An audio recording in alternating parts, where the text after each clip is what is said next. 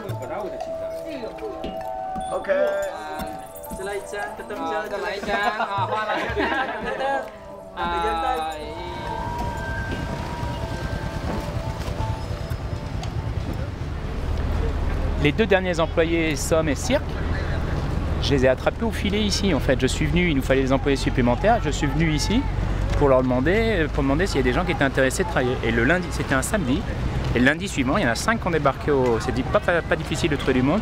Il y en a cinq qui ont débarqué euh, au workshop, on en a gardé deux. Les trois suivants, on les prendra un peu plus tard, faut qu'on ne peut pas assimiler tout le monde en un seul coup. Là, les jeunes filles qui sont là viennent des villages autour. Il y a des milliers et des milliers de personnes qui habitent là. Ils n'ont pas beaucoup d'opportunités d'emploi et vendent des produits, euh, si on regarde bien, ce sont que des produits, à part les boissons, tout ça, ce sont que des produits importés, principalement Thaïlande, Chine, Inde, jusqu'au Pakistan. On trouve même des produits qui viennent du Népal. Et honnêtement, je pense que la proportion de produits euh, artisanaux, entre guillemets, hein, il y a peut-être 10% de la valeur, 15% euh, de la valeur qui vient du Cambodge. C'est là que l'idée de Cambolac m'est venue, en partie ici, en me disant peut-être qu'on pourrait essayer d'organiser mieux les choses en vendant des beaux produits made in Cambodia, en mettant tout le monde autour de la table, les, agences de développement, les autorités, euh, toutes les parties prenantes, hein, les communautés des villages, en faisant fabriquer un produit joli à la fois dans les villages et le vendre ici sur un modèle complètement intégré. Et j'ai eu l'idée de bah, créer un social business. C'est vraiment de, l'analyse d'une situation locale qui est venue l'idée, puis que le, modèle s'est construit et que le produit a été trouvé, le produit qui remplit un certain nombre de caractéristiques euh, pour être bien vendu ici. The financial crisis, interestingly enough, led to a lot of smart people losing their jobs. And what I've seen in the US is that a lot of you know, people that, that were really intelligent and passionate as an undergraduate or in graduate school went into the finance sector and got lost in the, in the machine. And since the, the financial crisis, a lot of them either lost their jobs or quit their jobs and have gone back and questioned what it is they're doing with their lives what's the meaning of their lives and what's the meaning of all this education and knowledge that they've gained and have gone and started creating social entrepreneur, you know, social businesses. Ce qu'on retrouve très souvent euh, chez les hommes, c'est quand ils sont euh, au pied du mur qu'ils réagissent. Mais en fait, avec la crise, euh, même si elle a eu beaucoup moins d'impact quand même au Congo que euh, directement ici en Europe, bah, a mis un peu tout le monde au pied du mur en se disant bah, maintenant, euh, qu'est-ce qu'on fait? Parce que euh, euh, la source principale d'aide est Tari. Et donc ça, stimule une créativité euh, et aussi une prise euh, de responsabilité pour continuer les projets. Il y a eu quand même au Cambodge, il faut le rappeler, il y a eu 30 ans de guerre et donc le pays était complètement dévasté. Il a fallu tout reconstruire. Le système éducatif était complètement détruit et donc à ce moment-là, on a vraiment démarré de rien. Nous, nous y avons contribué en développant des écoles spécialisées pour, les personnes handicapées, enfants des rues, enfants handicapés, sourds ou aveugles. Et de là, euh, on s'est retrouvé un peu victime de notre succès. Donc on a eu euh, des enfants qui aujourd'hui ont le baccalauréat, euh, vont à l'université, mais il faut aujourd'hui les réintégrer sur le marché du travail.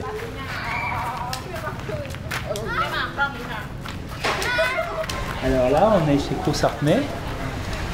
Crous-Artmay, l'organisation qui a été fondée par Benito pour aider les enfants au Cambodge, et en particulier les enfants, certains enfants à handicap, comme Fan Hot, qui a 23 ans et qui travaille avec nous chez Cambolac depuis quelques mois. Et donc c'est l'endroit, c'est le dortoir, voilà, c'est là où ils dorment.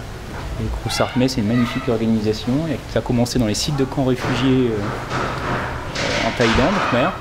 C'est un, jeune Français qui a été touché par la situation des, enfants dans ces camps, qui a monté, complètement changé sa vie pour monter cette organisation il y a 20 ans. Pour nous, c'est un exemple. Et le fondateur de cette ONG, euh, qu'on appelle Benito, est un membre du conseil de surveillance sociale de, Cambolac et mettre beaucoup, beaucoup, beaucoup euh, à développer Cambolac et à prendre les bonnes décisions. C'est un peu un grand frère, euh, quelqu'un de fort sympathique.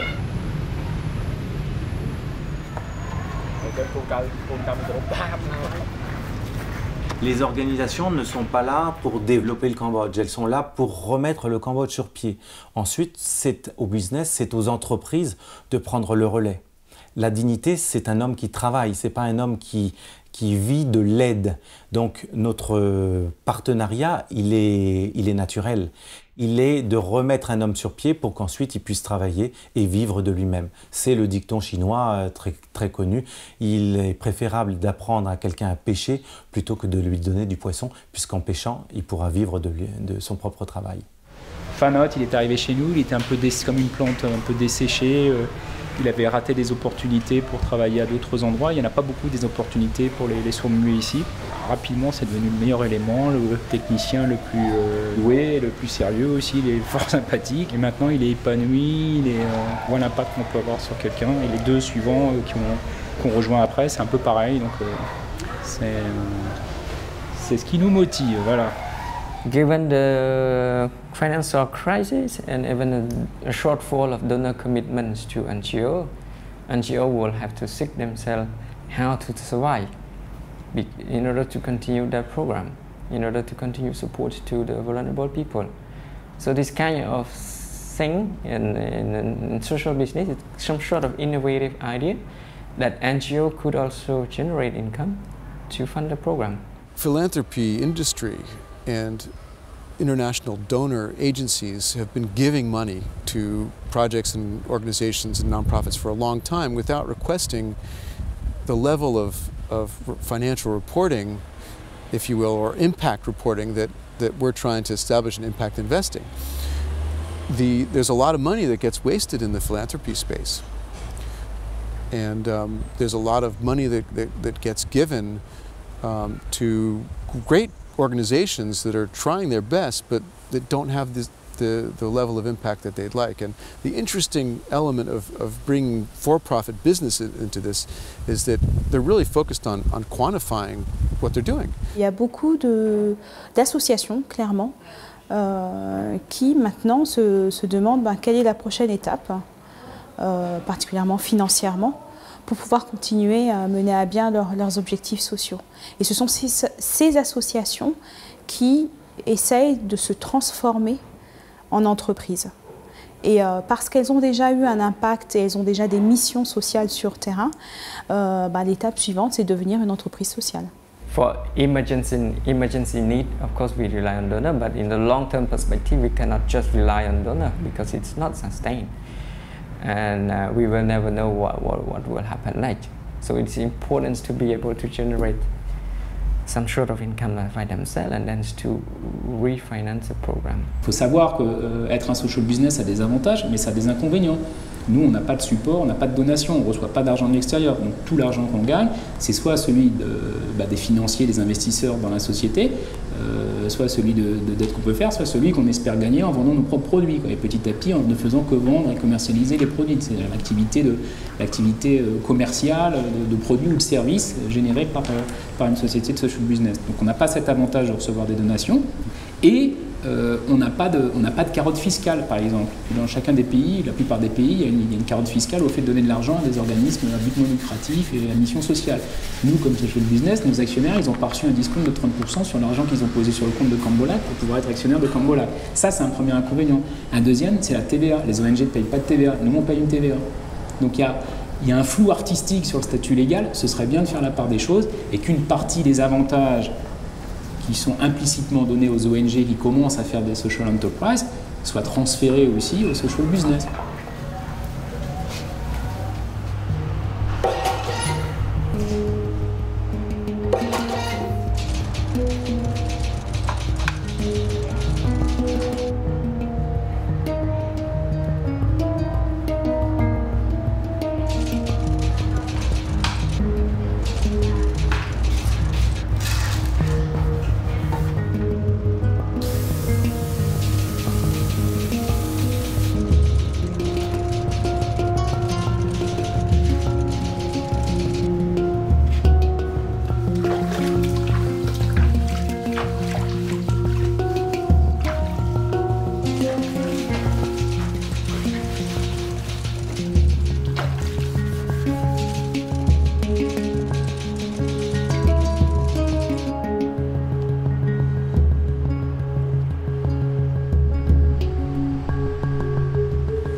De ce produit, c'est vous avez visité euh, encore aujourd'hui, vous arrivez dans le magasin, vous voyez la photo de ce que vous avez vu le jour sur un beau produit bien fini en lac et ça vous donne envie d'acheter.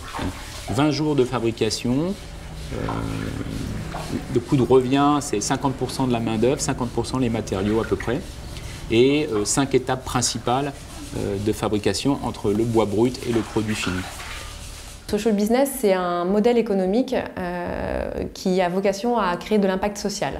Euh, une entreprise, quelle qu'elle soit d'ailleurs, que ce soit une association, euh, un entrepreneur social ou une grande entreprise, qui décide de lancer un projet qui va avoir un impact, une pérennité économique et un impact social, qui va répondre à un besoin social. Finalement, quelle que soit sa forme, sa forme juridique, sa taille, ça peut répondre pour nous à la définition d'un social business. My definition of social business is a business that makes money, because it's a business, but solves some sort of social or environmental need. So it does both, you know. And, and in a way, you could say all business does both, because all business creates jobs, creates a product that someone wants to buy, therefore it creates social welfare, if you will, you know, in economic terms, uh, consumer surplus, right? Um, if they didn't, bring people happiness or some sort of joy and benefit of buying their products, they would go out of business. And so in a way, all business could be considered social business to a certain extent. Quand j'ai commencé à réfléchir à, à, sérieusement à lancer un, un, social business au Cambodge, moi j'avais aucune expérience du business au Cambodge, aucune expérience du social. Euh, donc euh, j'étais animé d'une bonne intention, mais euh, je manquais un peu de d'expérience. Donc je suis allé voir des gens qui avaient déjà eu beaucoup d'expérience dans, le social et le social business au Cambodge et qui m'ont expliqué un petit peu les, difficultés euh, que je allais rencontrer. Euh, en particulier les difficultés de crédibilité sur la mission sociale de Cambolac. On a mis beaucoup de temps à se voir, en fait, à se rencontrer physiquement. Ça fait que quelques semaines, en fait, qu'on s'est rencontrés physiquement. Mais on n'avait pas besoin de se voir pour se comprendre et puis pour euh, reconnaître, en fait, une vibration commune par rapport à un projet qui avait un impact qui allait bien au-delà du résultat de perte et profit de la société.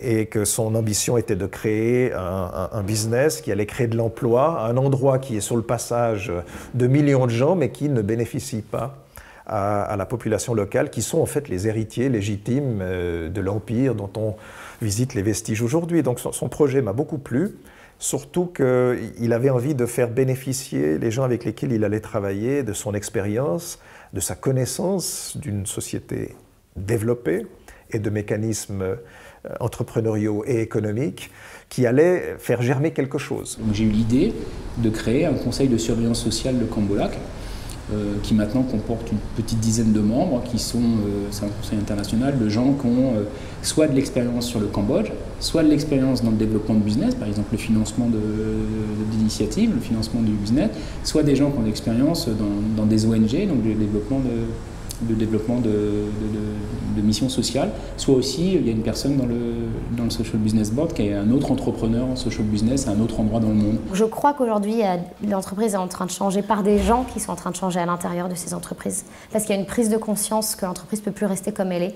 Parce qu'il y a aussi quand même un jugement qui est aujourd'hui porté euh, sur le secteur bancaire, sur le secteur de l'entreprise, qui, sans être caricaturé, euh, montré comme les grands méchants, bah, c'est vrai que malgré tout, euh, aujourd'hui, les entreprises endossent quand même une responsabilité et doivent porter la responsabilité d'être un acteur parmi d'autres pour contribuer à une société plus durable. En Europe, beaucoup d'entrepreneurs ont perdu un petit peu l'influence qu'ils avaient vis à -vis de leurs entreprises au profit financier. Et on a perdu ce caractère justement social de l'entreprise. Et du coup est venue une structure qui est nouvelle, qui s'appelle l'entreprise sociale.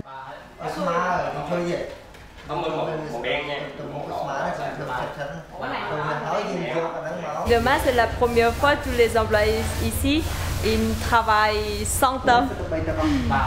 Et euh, on est en train de préparer euh, le travail pour demain et après-demain. Et Tom il a montré aux employés euh, comment mélanger la cône 1038 avec les sangs et comment faire, comment penser quel numéro de sandpaper, quel produit. We try to communicate even with the visible people. But when we stay work together for a long time, their body language is uh, make us easy to communicate with them. However, we are working in a team. We need to understand each other. We have to learn from each other. We are the peer team, peer group.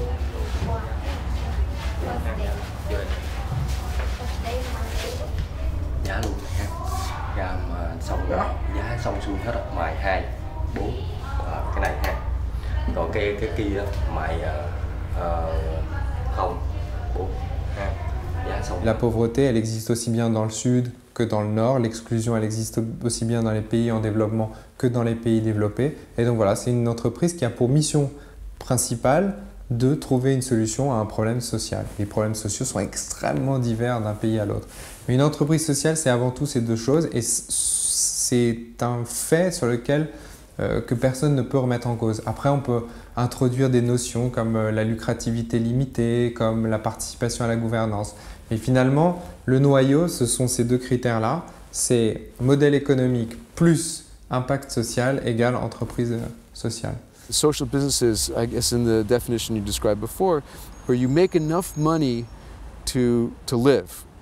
So you can pay your employees, you pay back your investors. Uh, but but I, I'm, a, I'm an anthropologist by training. I studied primate and human ecology and evolution. That's not what people are about.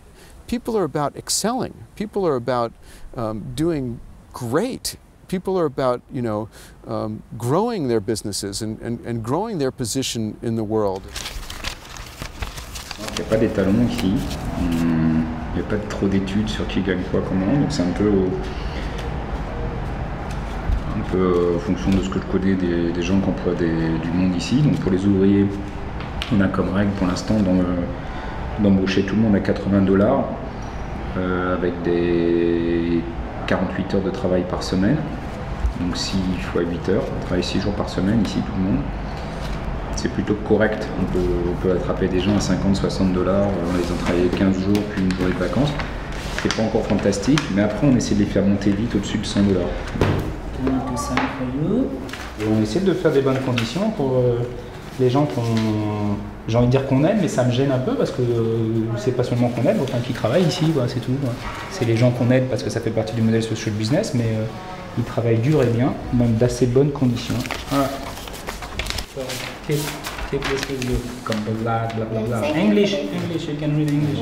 Thank you. You're welcome, thank you very much. Et puis aussi, on espère le jour où on on sera euh, bénéficiaire pouvoir, parce qu'on est un social business, redistribuer une bonne partie de, de l'excédent de cash flow, en, soit en salaire, hein, soit en différents bénéfices sociaux comme l'assurance santé, euh, l'éducation, des choses, comme ça.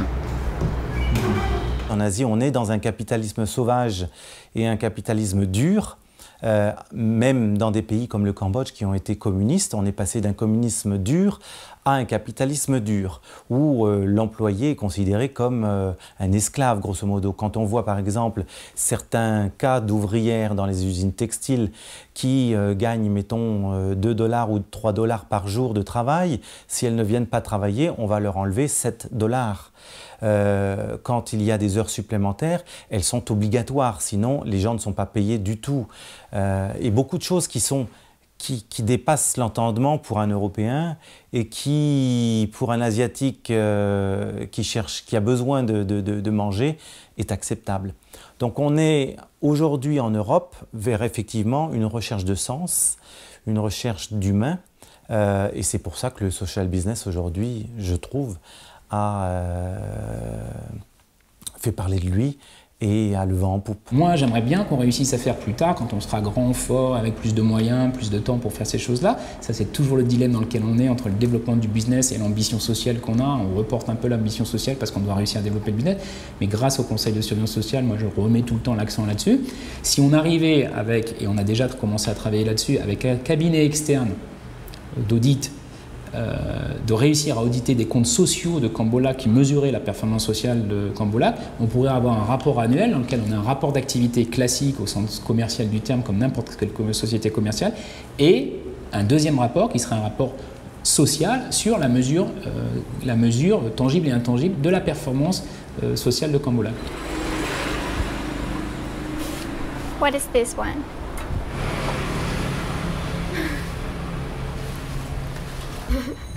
Thursday. Thursday. Yeah.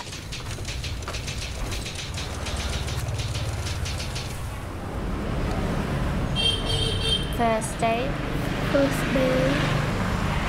Saturday. This one. Tuesday. Tuesday. Oh. Tuesday. Mm-hmm. Next one is Wednesday. Wednesday. Yeah, very good. T O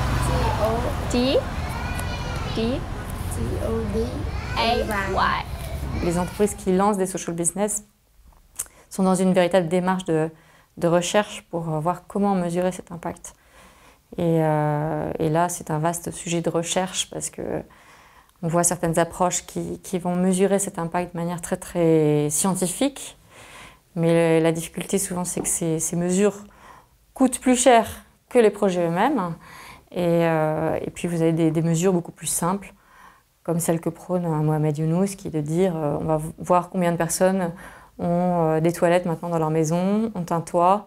Et donc il a une dizaine d'indicateurs très très simples et basiques qui lui permet de mesurer son impact. Donc entre des, approches très scientifiques et des approches très simples, il existe toute une palette qui fait l'objet de nombreuses recherches. On a développé une méthodologie qui s'appelle CDI, donc Compte d'animation Ratings, qui est en gros une agence de notation, une agence d'évaluation financière et extra-financière des entreprises sociales. Donc on donne une note qui va de triple A jusqu'à D pour l'aspect financier, mais aussi pour l'aspect social, pour que les financiers puissent se rendre compte que bah, à entreprises équivalentes en termes de rentabilité financière, il y en a certaines qui ont un impact social plus fort que d'autres.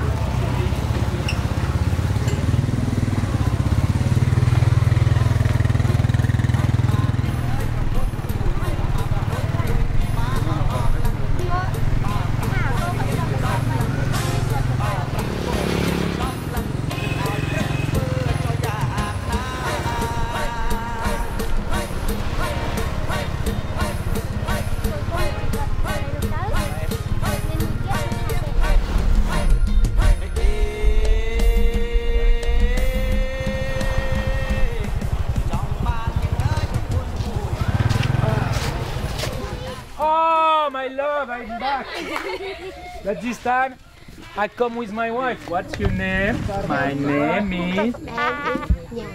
Oh, your name is Nyang. What is my name? Your name is Philippe. Pour le moment, on travaille avec deux villages. Donc, c'est le village d'où viennent euh, Ro, Rohan, Nyang, qui travaille pour euh, Kambolak, et Pi, avec son bébé. Donc, on a cinq personnes qui viennent d'ici. On a un deuxième village avec lequel on a commencé à travailler. Et l'idée c'est d'avoir des emplois directs à l'atelier Cambolac, donc comme eux, et puis aussi donner du revenu complémentaire dans les villages en créant des petits bassins comme celui qui est là, pour leur donner une partie du travail à faire ici. Donc ça fait un revenu complémentaire pour 250 personnes qui pourrait être de l'ordre de c'est pas encore exactement, mais ça pourrait être 20-30 dollars, ce, qui est conséquent ici euh, par mois. Surtout pour euh, beaucoup de femmes sont euh, bloquées dans les villages avec des enfants. Il y a des kyrielles d'enfants. Il n'y a pas beaucoup de maris où ils sont un peu, un peu partis ou pas très actifs. Et elles sont bloquées dans ces villages sans vraiment de possibilité de développer un revenu. Et en plus, c'est eux qui choisissent quand ils ont envie de travailler, suivant leur rythme. Et on peut avoir un foyer qui travaille un peu, un autre qui travaille beaucoup plus, et puis on paye à la pièce. Donc c'est vraiment un modèle qui est vachement bien adapté peu d'investissement, beaucoup de main-d'œuvre parce que c'est du ponçage, hein, du ponçage ou de la peinture. Donc c'est euh, depuis le début en fait pour créer Cambola que j'ai eu l'idée de créer cette, euh, ce genre d'infrastructure ici, ce genre de choses. Et après j'ai cherché le produit qui permette de le faire. Et c'est comme ça que l'idée de la lac était disponible au Vietnam, la transposer ici en changeant un petit peu le, le process et en rajoutant des photos dedans est né et puis, et puis, et puis tout le. Et puis c'est devenu ce grand bazar maintenant.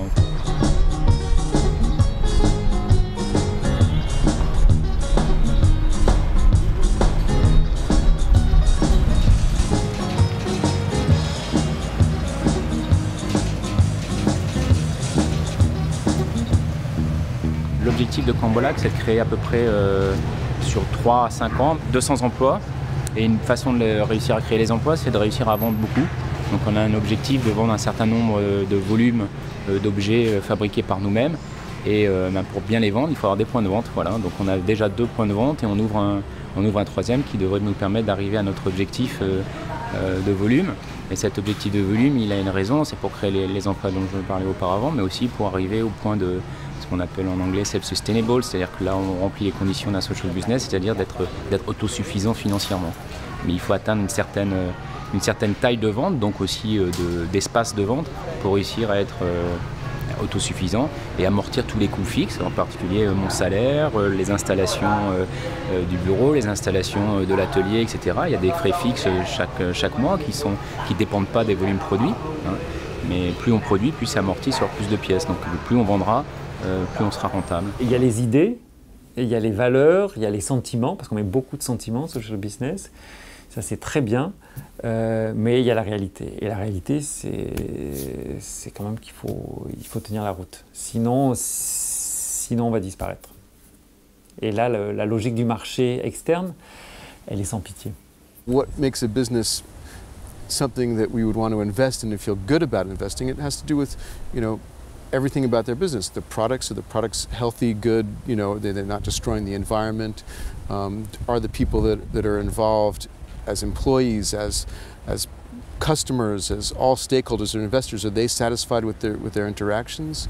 Um, and is, is the company, you know, seeking to make money and make the world a better place at the same time? I think that's the, the, the goal. Social business, social nonprofit, you know, they don't have to make money. They can do, uh, you know, all kinds of good in the world. But, but if you're a business, the goal is to, to make money and use that money to further your goals.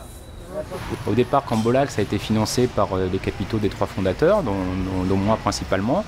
Euh, et euh, il arrive un moment et des avances de trésorerie.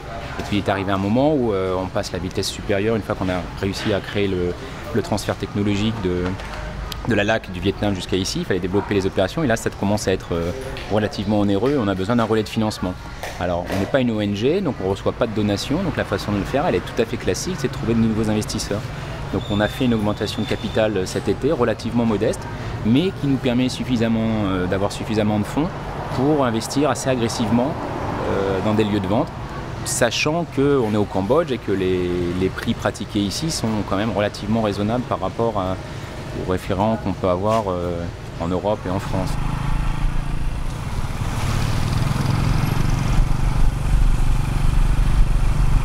Alors là, on est dans le cœur du cœur de, de la partie touristique euh, après les temples. Donc là, c'est le, le vieux marché Et là, devant nous, on a des indications pour Pub Street, qui est la rue dans laquelle il y a beaucoup de restaurants, de bars pour les, Westerners, les Occidentaux qui viennent visiter encore Donc quand c'est la haute saison ici, c'est blindé de monde. Et c'est là où on ouvre justement un, un nouveau magasin juste à l'entrée, là, ici dans la nouvelle galerie commerciale.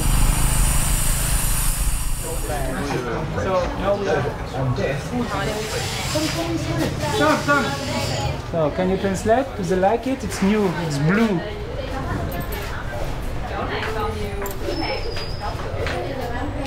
And you see, look, here, orange, new.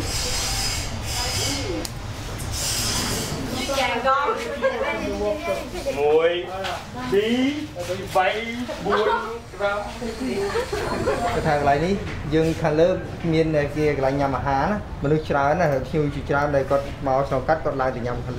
and it's just on time because this is the end of the low season rainy season. Ben là, c'est le nouveau magasin qu'on inaugure officiellement avec, toute l'équipe de Cambola. Donc là, c'est toute l'équipe qui travaille à l'atelier, et puis on a les vendeuses, et puis l'équipe de, l'office. Voilà. Donc c'est la première fois qu'ils le voient ce magasin. On a un autre magasin qu'ils connaissent déjà. Il y a des gens nouveaux qui sont arrivés pendant l'été, qui découvrent pour la première fois un lieu de vente. Donc c'est eux qui ont fabriqué tout ça et euh, voilà, donc c'est valorisant et on est bien content de les avoir. hein. C'est une période charnière hein, pour lui. C'est clair qu'il va falloir euh, qu'il attire des, investisseurs qui soient prêts à s'engager dans l'aventure avec lui, euh, avec sans doute peu de retours euh, sur le, de rémunération du capital et beaucoup de risques, parce que tous ces projets-là menés voilà, sont, quand même toujours évidemment risqués. Euh, donc euh, c'est charnière pour lui. C'est un métier de chef d'entreprise, donc c'est pas un métier très re- reposant, mais il y a beaucoup de, il y a beaucoup de gratification. euh, L'objectif qu'on a, hein, c'est de, si on veut vraiment remplir notre mission sociale à long terme, c'est de réussir à, être assez rapidement autofinancé. Donc ça, on en est loin pour l'instant, on progresse, mais on en est loin, donc ça, ça, me, comme on dit, ça me, ça me travaille, un- petit peu, Revenons euh, à la base, à l'origine de la finance. Euh, aidons les entreprises à grandir et notamment les entreprises euh, sociales. La finance, si c'est bien utilisé, et l'impact investing en est, je pense, la preuve, ça permet d'apporter des fonds et des capitaux à des super boîtes qui vont non seulement avoir un modèle économique qui est viable, créer de la richesse, créer de l'emploi, mais en plus qui vont pouvoir aider des personnes qui sont en, difficulté. What is the role of the consumer in um, helping companies be more responsible? I think that's a, a really big question. And people have a lot more power than they, than they imagine and can make choices that have an impact on the products. And we do it every day. When we buy a product from a company, no matter what company, we're giving them the thumbs up. We're saying, we like what you do. Again, in economic terms, that's, that's creating consumer surplus. I'm buying it because I value that product more than I value the $3.50 that it cost me to, to buy that product. Um, and that difference between the cost of the, making the product and what we pay for it is the pr- producer surplus. It's what the company lives on. That's what they. So that's so we're we're part of a system, and we're every time we buy something, we're saying I, I want this project I, product. I value this product, and that keeps the companies alive. So these decisions are not trivial. We're not you know isolated individuals that have no impact on on these companies. We determine that whether those companies survive or not.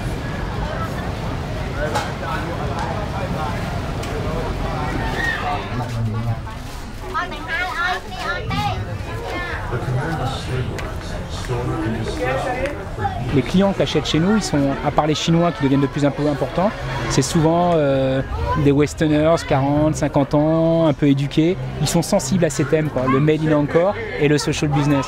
Donc si on arrive à bien communiquer ça dans un, et qu'on a un, endroit où il y a plus de cette population, on devrait cartonner. Et l'endroit qu'on vient de prendre là, je pense que c'est parfait pour ça.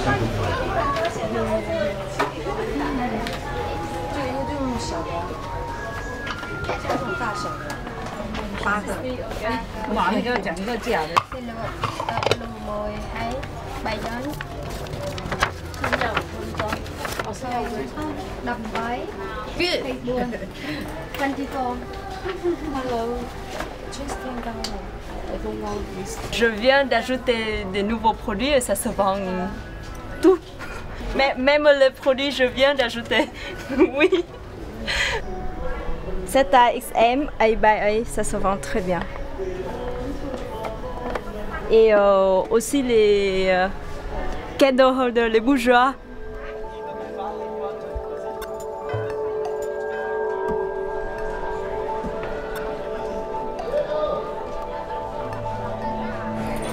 On veut mettre des personnes, mais c'est pas vraiment. C'est pour vendre des choses, mais c'est pas dans, la vente agressive comme on a pu voir dans les galeries commerciales à l'intérieur d'en- d'encore. Euh, c'est plutôt des gens qui sont là, posés calmement, euh, stables, statiques, avec des jolis produits et de l'information sur euh, qu'est-ce que c'est qu'un programme social, euh, de social business, etc. Et l'opportunité d'acheter, de rapporter un souvenir avec une photo de ce qu'on vient de voir. Donc, si on arrive à faire ça ici sur une dizaine d'endroits, ce qu'on voudrait faire dans un premier temps, on pense qu'on peut créer entre 80 et 100 emplois répartis, moitié production, moitié vente. Le être un social business, c'est un argument de vente assez fort et nous, on l'utilise beaucoup pour communiquer. Mais à la base, euh, quand j'ai commencé à avoir l'idée de Cambolac, j'ai regardé ce qui se faisait ici au Cambodge et dans d'autres pays. La plupart du temps, on a des initiatives qui partent de- d'ONG, de, NGO, et qui commencent à créer des entreprises avec des produits qui sont de piètre, honnêtement, souvent de piètre qualité. Et les gens achètent ce genre de produit parce que c'est une ONG, c'est pour un peu faire plaisir. Ça, je n'ai pas voulu ça pour Cambola, j'ai voulu créer une niche dans une niche qui se développe, qui est un gros marché en fait, euh, dans l'offre de souvenirs ici, qui est un produit de bonne qualité à un prix raisonnable, value at reasonable price. Et l'argument que j'ai toujours utilisé pour Cambolac, la stratégie number one d'un Cambolac, c'est que le client soit attiré par la qualité et la beauté du design des produits. Nouveau design, qualité des photos, qualité du produit fini. Quand c'est noir monochrome, on la vend 6 dollars. Et ça, 8. Celle-là 8 et celle-là on va la mettre à Et- 8. et même argent. prix que ça, mais quand elle est mieux habillée en bichrome. Et argenté On la fait 8 aussi. C'est le même prix Ça noir ça et coûte- euh, ça coûte cher. euh, noir et argenté. Non, non, 6, 8. Voilà. And they took this picture and they hand paint. It's the same here, hand paint. Oh. Yeah. This one made in Vietnam. We, we look forward to find uh, local painters. Hein? D'une part, c'est avec des photos, c'est quelque chose de différent, et d'autre part, la qualité. Euh, J'aime beaucoup la qualité. Moi, je peux, si- en fonction du prix, si le prix rendu dans un magasin permet de le vendre, je peux le vendre dans. dans- je travaille avec 40 pays, je peux le vendre dans. C'est très facile, que ce soit pour la Jamaïque, que ce soit pour le Costa Rica, pour le Brésil, pour, euh, pour n'importe quel pays, à condition d'avoir le client le distributeur. Moi, c'est mon métier depuis 30 ans, 32 ans même. business has been going with blinders on. And you need to bring in all kinds of elements to open up people's consciousness, open up business leaders' consciousness about new markets, about new products, and bringing in art, bringing in nature, um, bringing in culture in ways that haven't been done is where social business is experimenting. And I find that to be fascinating. And I think that big corporations could learn a lot from that as well. Um, and it's just not the norm. People, you know, are focused on their narrow frame of reference.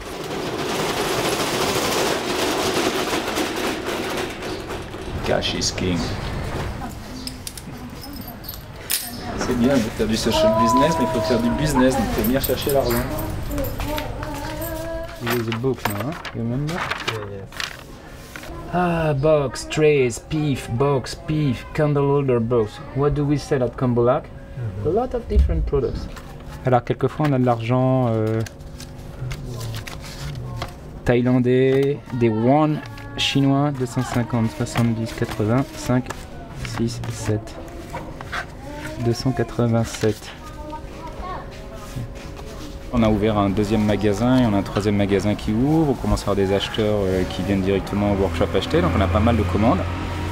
Forcément, ben, euh, il y a des produits qu'on n'a plus, qu'on essaie de faire euh, un peu plus vite. Et voilà, c'est la phase de croissance booming d'un- d'une petite affaire qui est en train de devenir un, vrai, un vrai social business. Donc on est en face des problèmes de croissance classiques, gestion des inventaires, gestion des- de la relation clientèle. Et euh, ben, c'est exactement ce que j'espérais sur certains produits. On est en rupture de stock, on va pas se plaindre.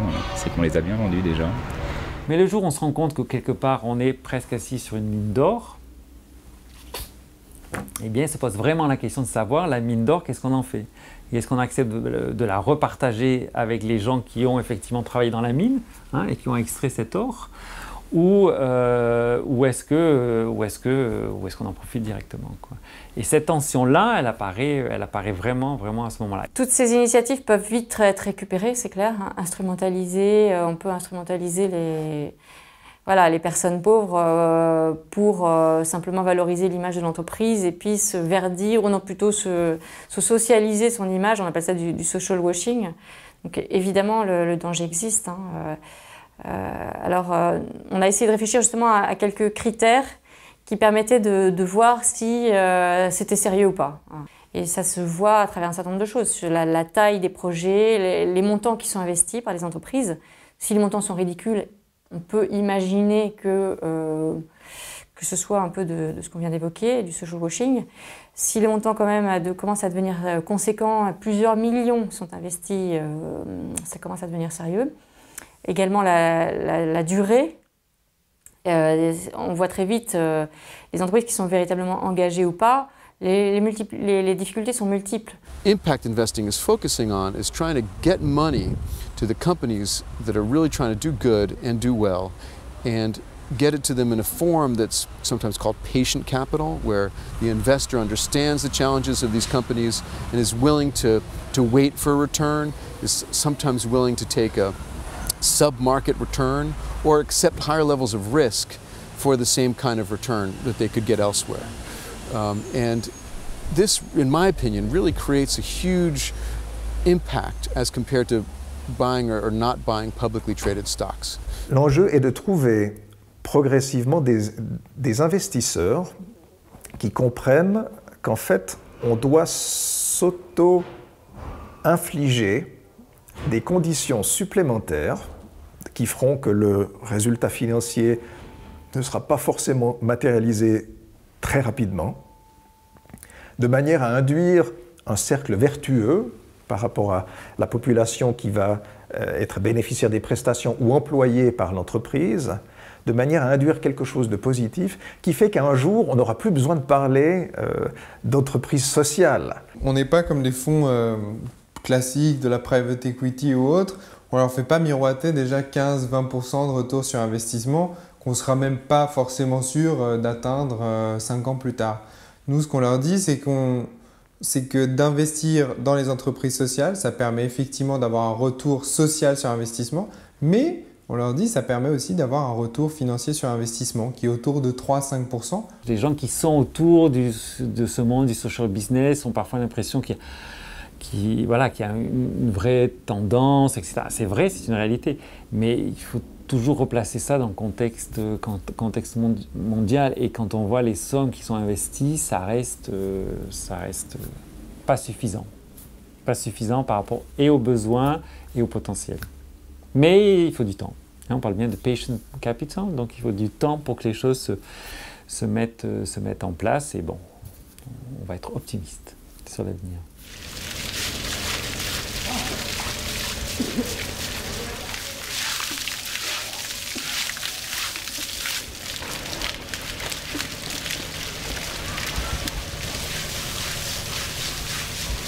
On est là pour faire des photos d'éléphants euh, avec lesquels euh, travaille un, hôtel de luxe de, de Simrep qui, veut qu'on fasse une série spéciale d'objets pour eux avec ces éléphants en photo incrustés dessus pour offrir à euh, leurs clients VIP.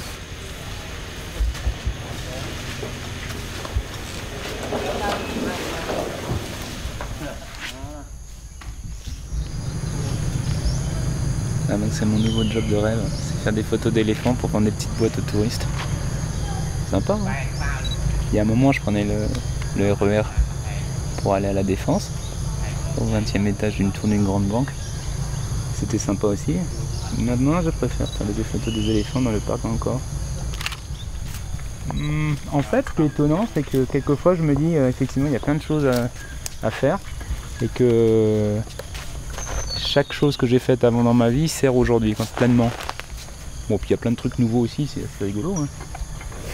Euh, et pour faire ce qu'on fait comme un, social businessman, il faut quand même pas mal de compétences différentes qu'on trouve pas. Euh, les gens qui viennent du monde des ONG, Ils n'ont pas l'expérience business, monter des dossiers, l'investissement, la finance. Ils ont une approche qui est, douce aussi du, commerce, un peu naïf quelquefois. Donc, il faut un profil un peu particulier pour, euh, pour faire ça. La première fois où je suis venu au Cambodge, il y a à peu près deux ans, comme touriste, comme n'importe qui, j'ai fait des photos et puis certaines sont utilisées maintenant euh, pour Cambola. Et quand je suis retourné en France, il y a des gens qui ont vu mes photos ils m'ont dit Ah, tes photos, cette fois-ci, il y a quelque chose de spécial. Et le truc spécial, c'est que en fait, j'étais tombé amoureux du Cambodge et ça a commencé à se voir dans les photos. J'ai toujours pensé au cadrage.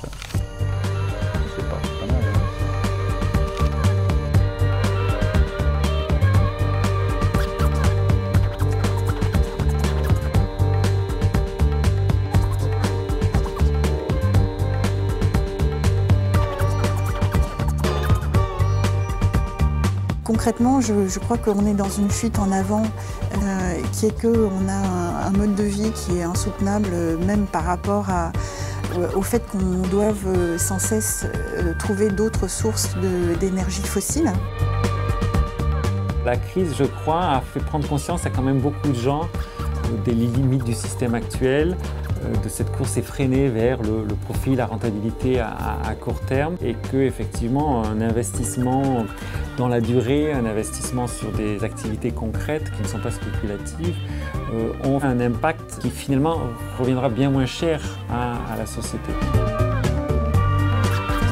Profit can be good, but profit for profit's sake is not social good. C'est une réconciliation en fait, hein, vraiment entre ce, monde de l'économie, du business et puis du social, du sociétal qu'on oppose. Donc là, l'idée c'est de rapprocher les deux et de réconcilier les deux. Donc c'est une utopie. Mais euh, il serait utopique de croire qu'on peut continuer. L'humain est important et on a besoin tous d'humains.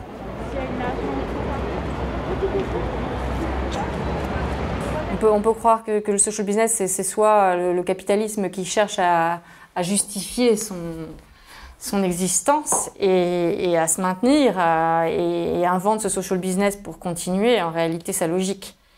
Euh, c'est une façon de voir les choses et c'est une possibilité hein, dans l'intention de certains, ça peut être tout à fait ça.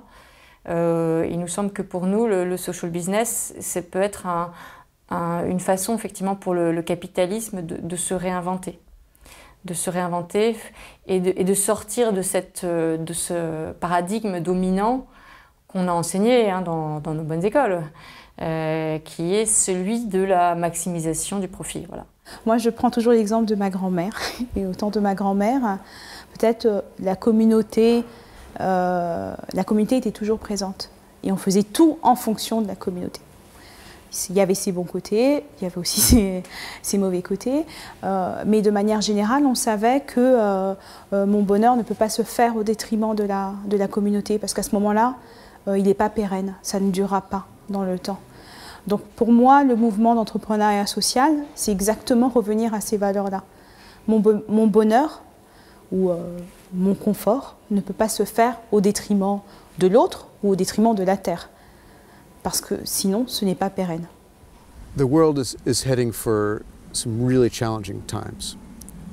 There's no doubt about that. Climate change, unfortunately, is real as much as people would like to believe it's not. So this is disastrous. Um, however, I think that we all are optimistic because if you, if you look at, if you imagine the world 100 years from now, and I think we can all imagine the world 100 years from now, right? We've gone through this crisis. We've gone through climate change crisis. We've, everything that you do from the time you wake up to the time you go to bed, for the most part, it's not sustainable. The, every product that you buy, it's in plastic. It's, that's not sustainable. We can't continue that. So 100 years from now, we have this vision, I have this vision, and I'm sure that most people share it, that we're actually going to solve all those problems.